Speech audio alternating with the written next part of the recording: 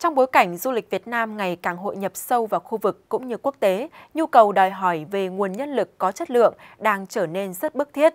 Khoa du lịch thuộc Đại học Mở Hà Nội hơn 30 năm qua đã trở thành cái nôi đào tạo, bồi dưỡng nguồn nhân lực của ngành cũng như sự phối hợp tích cực của khoa với Cục Du lịch Quốc gia Việt Nam trong các dự án và các hoạt động nghiên cứu. Hiện khoa du lịch của Trường Đại học Mở Hà Nội là cơ sở duy nhất được ủy quyền thực hiện hoạt động kiểm định và cấp chứng chỉ nghiệp vụ hướng dẫn du lịch tại Việt Nam.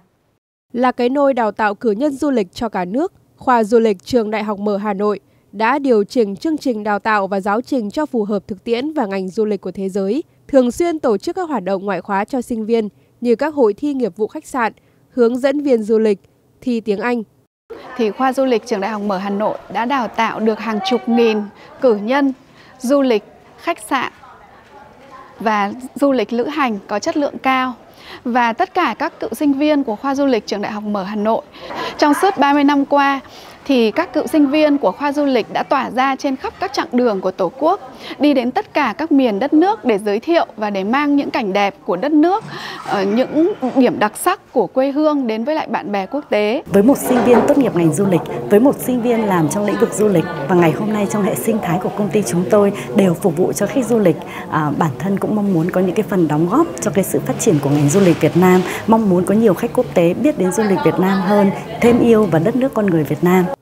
Hiện nay, du lịch được đưa vào ngành kinh tế mũi nhọn trong chiến lược phát triển kinh tế xã hội của chính phủ. Cùng với sự tăng trưởng số lượng khách du lịch quốc tế đến Việt Nam hàng năm, nhiều điểm du lịch của Việt Nam thường xuyên được vinh danh bởi các báo, tạp chí thế giới danh tiếng. Nhiều nhà đầu tư chiến lược đang đầu tư phát triển các khu du lịch, điểm du lịch với những yêu cầu từ sự phát triển của ngành, nhu cầu nhân lực ngày càng cao.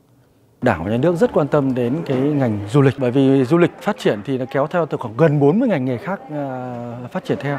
Vì vậy cho nên du lịch là một trong những ngành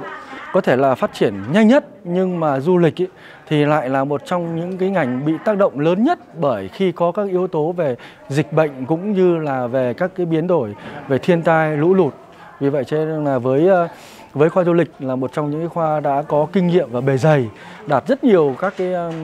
giải thưởng trong ờ, tương lai ờ, khoa du lịch sẽ tiếp tục đào tạo ra một cái nguồn nhân lực có chất lượng cao phục vụ cho ờ, ngành du lịch.